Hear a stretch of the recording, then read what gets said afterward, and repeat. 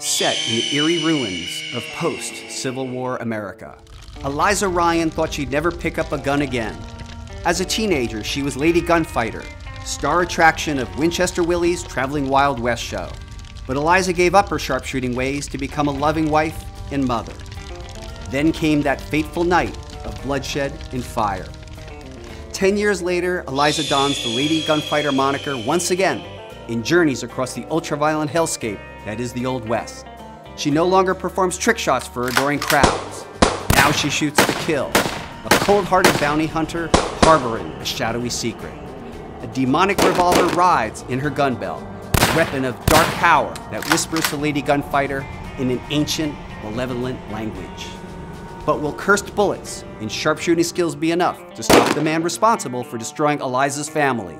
The infamous killer, Jebediah Kane.